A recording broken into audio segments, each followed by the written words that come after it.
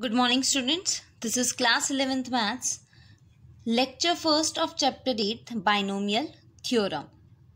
So, before studying binomial theorem, we will study some concepts which we will be using in this chapter. So, first is factorial.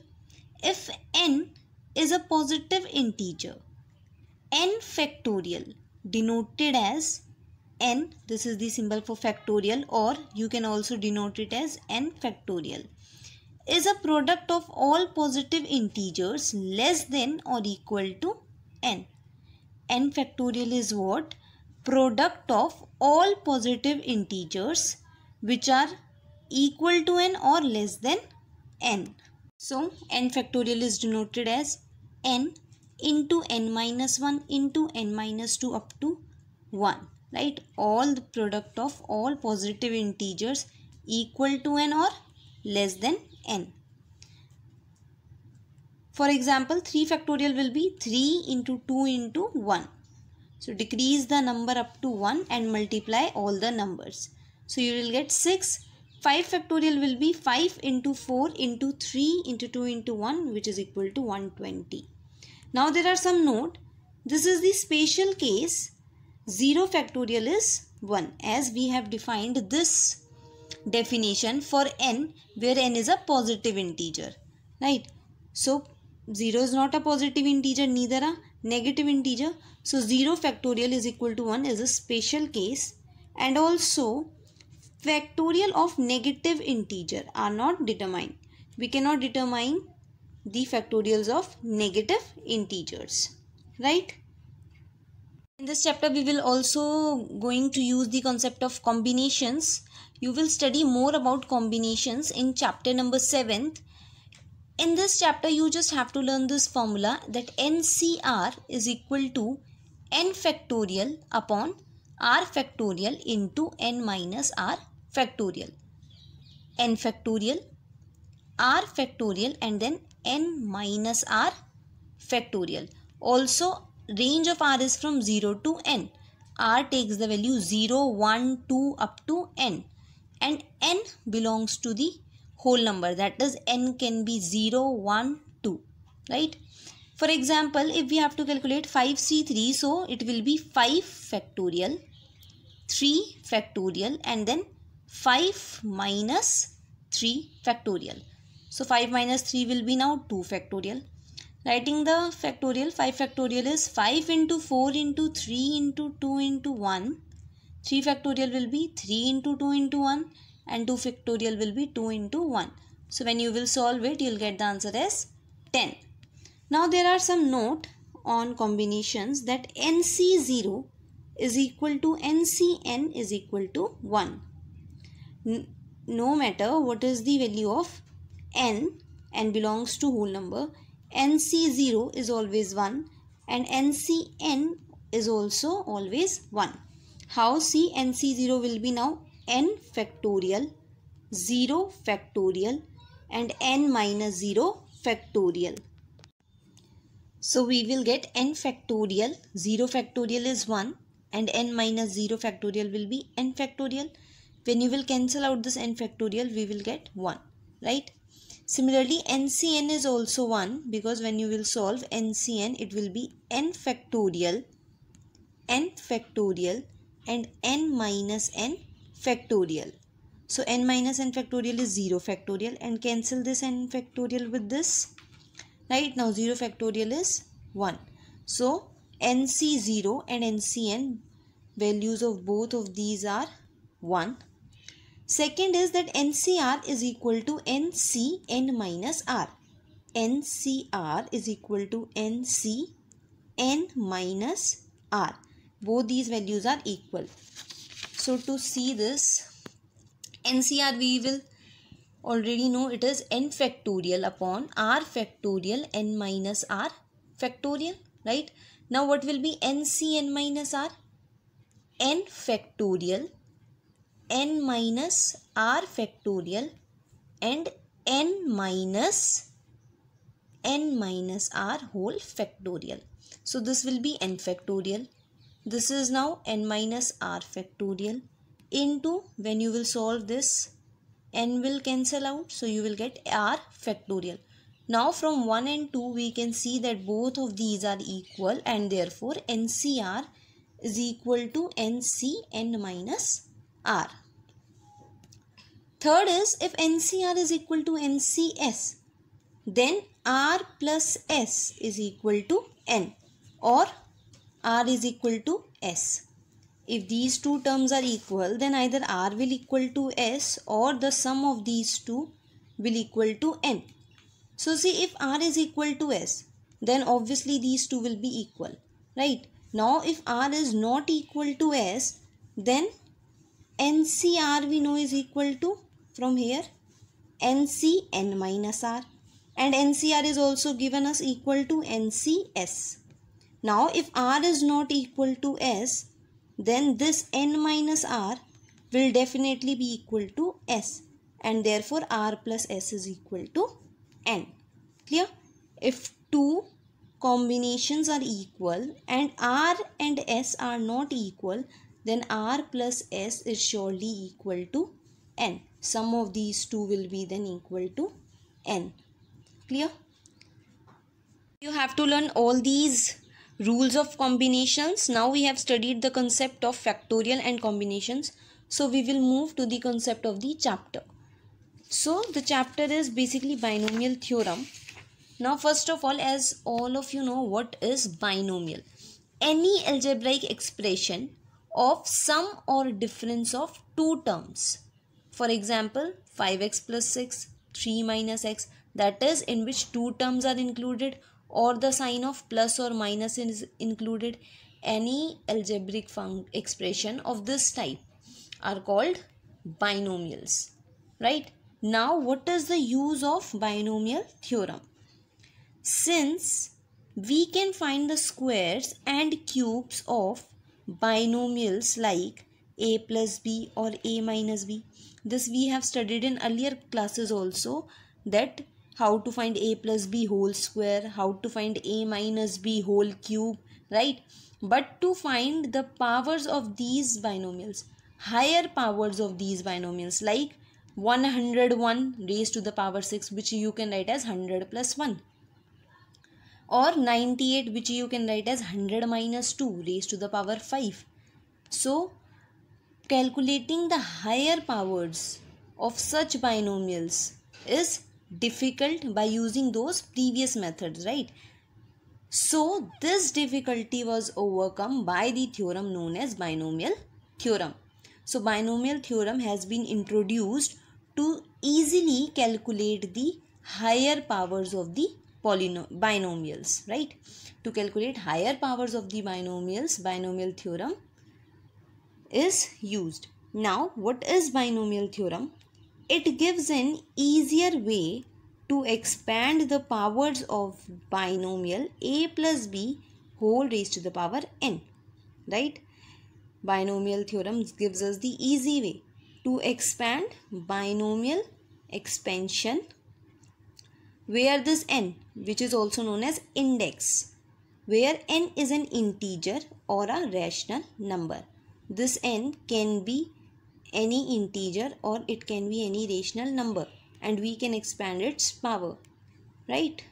But now in our chapter we will gonna do only those cases where n is a positive integer. We will not talk about negative integer or we will not talk about rational numbers we will just expand the binomials whose index is a positive integer. Clear? Now we will derive the binomial theorem. So first of all, let us look at the following identities which you have done in earlier classes.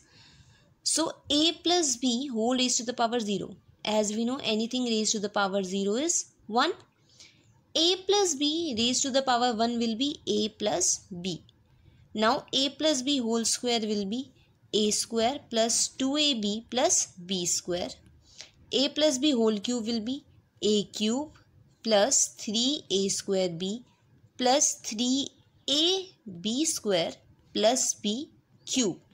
Now see we have to see some pattern which these identities are following.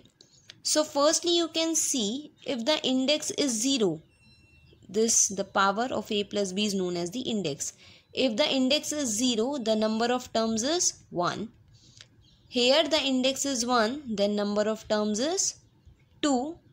Here the index is 2. So the number of terms is 3.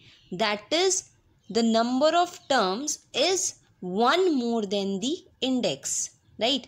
If index is 3 the number of terms is 4. That is the number of terms is 1 more than the index. Therefore, therefore we got this first note that there are n plus 1 terms in the expansion of a plus b whole raised to the power n. If index is n, then number of terms is 1 more than the index, right? So number of terms will be n plus 1, 1 more than the index. Now second note is in the successive terms of expansion, power of A decreases with 1 and power of B increases with 1. Power of A decreases with 1 and power of B increases. See here there is no increment or decrement of the power of A.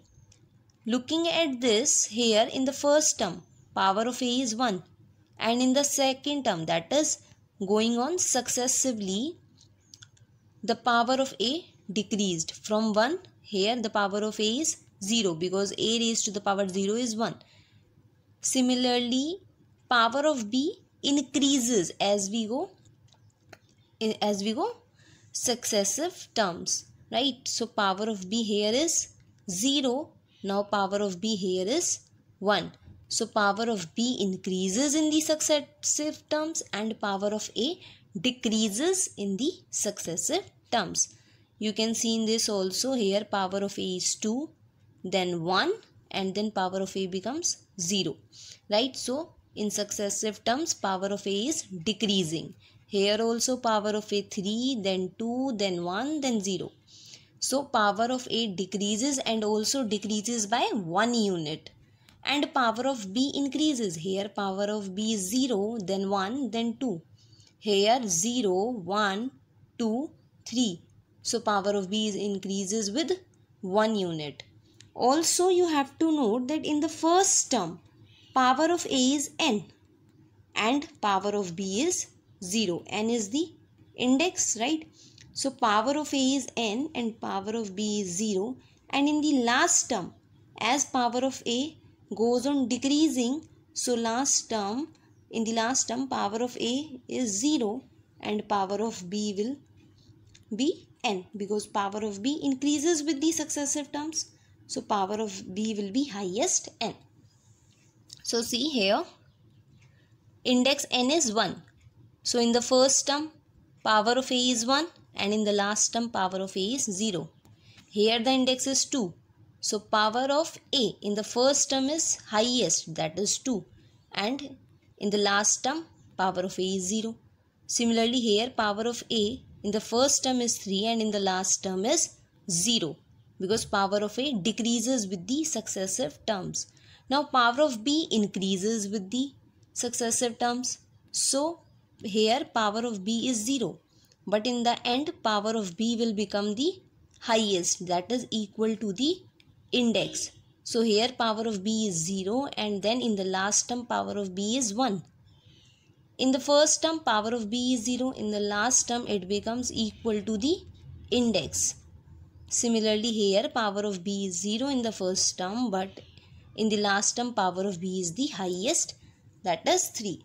This is what we have seen that power of a is n in the first term and power of b is 0 and in the last term power of a is 0 and power of b is n. Also one more thing you can note that in each term, in each term, the sum of the powers of a and b, right, is always equal to the n, that is the index. Now see in this, power of a is 1. Here b is not there, we can write it as b raised to the power 0, right. So 1 plus 0 is always 1. Similarly here power of b is 1 a is not here so we can write a raised to the power 0 right? So b has power 1 a has power 0 when you will add the powers of a and b you will get 1 plus 0 1 so in each term power of a and power of b sum of the powers of a and b is always equal to the index. Here also power of a is 2 and b is not there so the sum will be 2 plus 0 2 now here power of a is 1 power of b is 1 1 plus 1 is 2 here also you will find the sum. It will be 2 so the sum is 3 because b is not there. We can write b raised to the power 0. 3 plus 0 is 3. Now here power of a is 2. Power of b is 1. 2 plus 1 is 3. Similarly 1 plus 2 is 3. Right. So we got our third note as that in every term of expansion the sum of powers of a and b is always n. Clear? Now we can arrange the coefficients in these expansions which we have done right as follows. Now we will arrange the coefficients. So see a plus b raised to power 0. So index is 0, 1, 2, 3. So writing the index 0, 1, 2, 3. Right. For index 0, the coefficient is only 1 for index 1 the coefficient is 1 and 1 so writing for index 0 the coefficient is 1 for index 1 the coefficient is 1 1 then C for the index 2 coefficient is 1 then 2 then 1 right? And for 3 you can see coefficient is 1 3 3 1 so writing the coefficients of 2 and 3 for index 2 the coefficient 1 2 1 and coefficient for index 3 is 1 3 3 1. So see it looks like a triangle with 1 at the top and then 1 is running down the two slanting sides. So this array of numbers is known as Pascal's triangle. Also see here it is 1, here it is nothing. So it's like 0 plus 1 is 1 also here it's it is nothing so 0 plus 1 is 1 now here it is nothing so 0 plus 1 is 1 then 1 plus 1 is 2 then again 1 plus 0 is 1 1 plus 0 is 1 now 2 plus 1 is 3 again 2 plus 1 is 3 so like this we can find out the coefficients for the index. But it is also difficult to find out the coefficients of the index of of higher index right? To find out the coefficients of higher index because we have to do this process of adding the numbers. So therefore we will relate the coefficients of this Pascal's triangle by the formula of combinations. So when index is 0 the coefficient is 1 or we can write it as 0c 0 when index is 1 in place of this one we can write 1c0 here in place of 1 we can write 1c1 because value of both of these 1c0 and 1c1 is 1 only. Why this is so? See we can relate the coefficients of the index in terms of ncr where n is the index and r goes from 0 to n. So here n is 0 so r is also 0 here because n is 1 so n is fixed 1 1 but r goes from 0 to n and n is here 1. So r goes from 0 to 1. Here n is 2. 2 is fixed. Right. r goes from 0 to n. n is 2. So r goes from 0 to 2. 0, 1 and 2. Similarly here 3 is fixed. r goes from 0, 1, 2 up to 3. Right.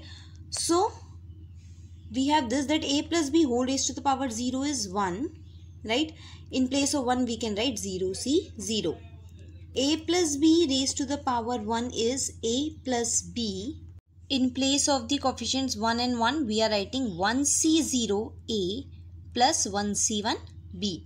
Similarly, a plus b whole square is a square plus 2ab plus b square. So in place of 1 writing 2c0. In place of this 2 writing 2c1. So 2c0a square 2c1ab plus 2c2b square right?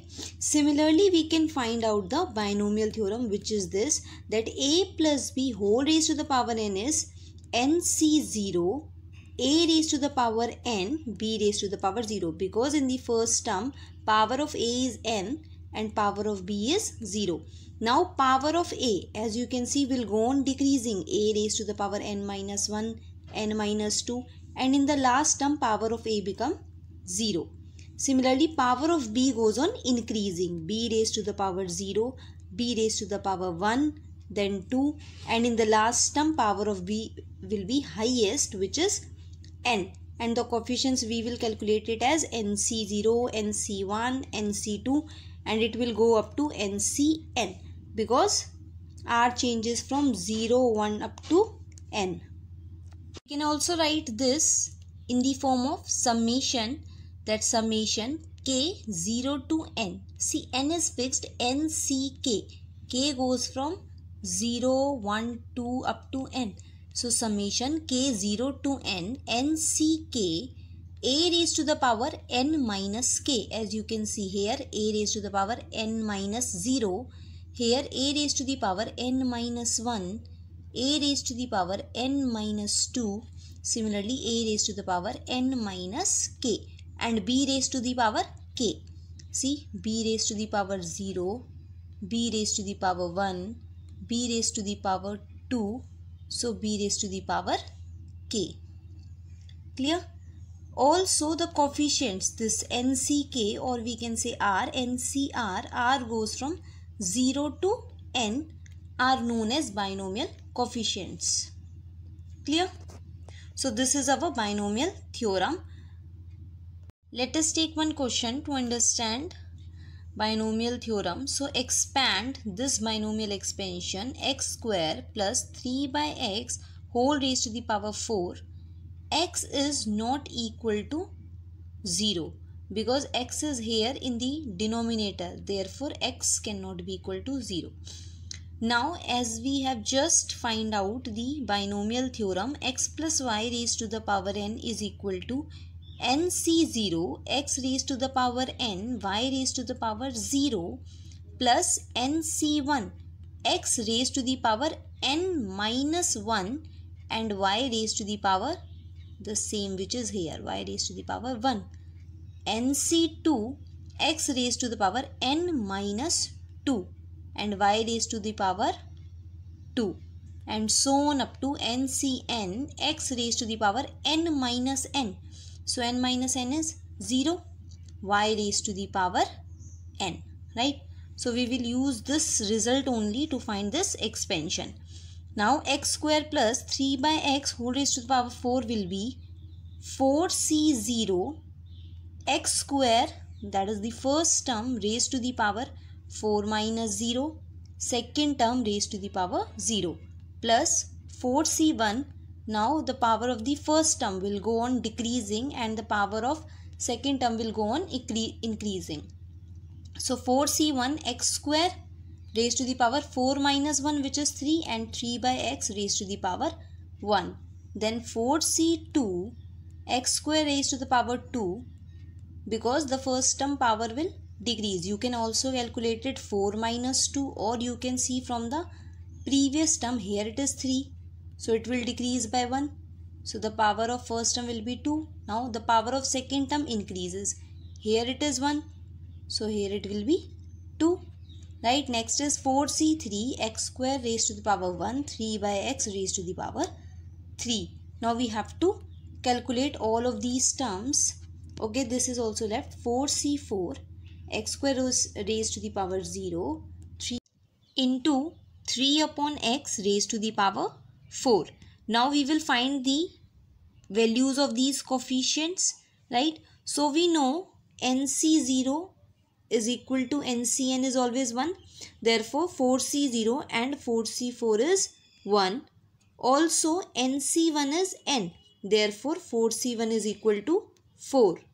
Now, NCR is n factorial upon r factorial into n minus r factorial. Therefore, 4c2 is equal to 4 factorial upon 2 factorial into 4 minus 2 that is 2 factorial. Writing this 4 factorial as 4 into 3 into 2 into 1 upon 2 factorial as 2 into 1 2 into 1. So, you will get the value as 6 of 4C2. Now 4C3. Now 4C3 will be 4 factorial upon 3 factorial into 4 minus 3 factorial. So it is 4 factorial upon 3 factorial into 1 factorial. Now writing this 4 factorial as 4 into 3 factorial. See because n factorial is n into n minus 1 into n minus 2 up to 1 also n factorial is equal to if I write this n as it is now leave this the rest is n minus 1 into the numbers less than n minus 1 right? So if we leave this n this is our n minus 1 factorial. Therefore we can write 4 factorial as 4 into 3 factorial. Also we can write 4 factorial as 4 into 3 into 2 factorial so here writing 4 into 3 factorial upon 3 factorial into 1 factorial. Cancel this. 1 factorial is 1. So the value of 4C3 is 4. Clear? Now we will put the values of these coefficients. So 4C0 is 1. Also something raised to the power 0 is 1. Therefore this will be x square raised to the power 4 which is x raised to the power 8 plus 4C1 is 4 into square cube is x raised to the power 6 into 3 upon x. Plus 4c2 is now 6 this will be x raised to the power 4 into 9 upon x square. Plus 4c3 is 4 into x square upon sorry into 3 by x whole cube which will be 27 upon x cube. Now next is 4c4 which is 1. This is x square raised to the power 0. So it is also 1.